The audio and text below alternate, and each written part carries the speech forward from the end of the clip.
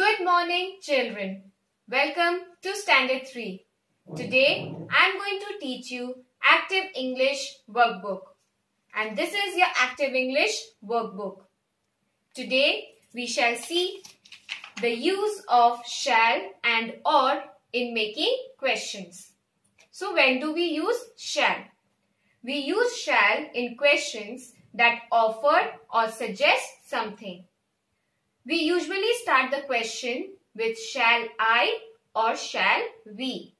To understand this, we shall see an example.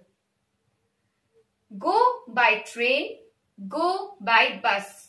Here you have two options or two offers. You can go by train or you can go by bus.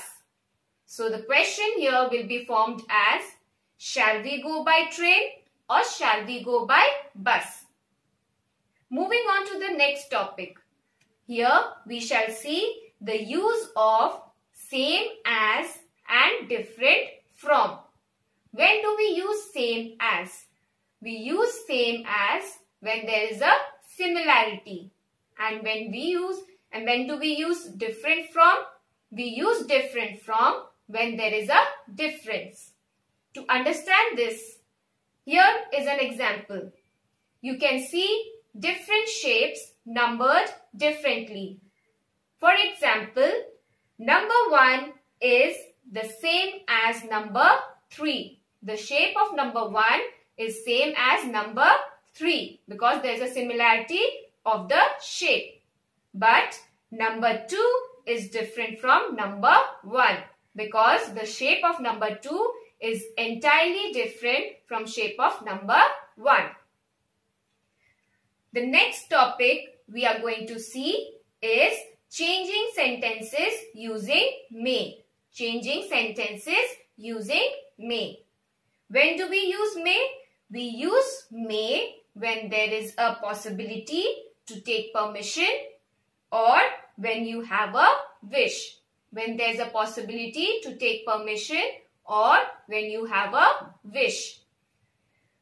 When a question starts with perhaps, children pay attention.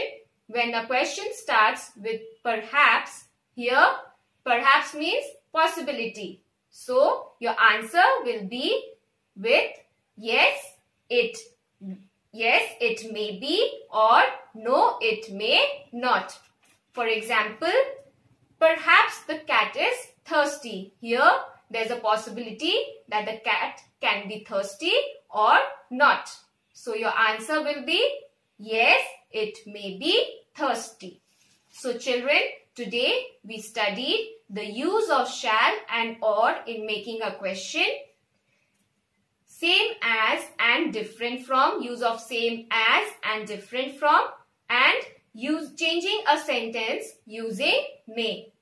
Based on these, Worksheets will be uploaded on your school website. Kindly go through it and try to solve it. Thank you children.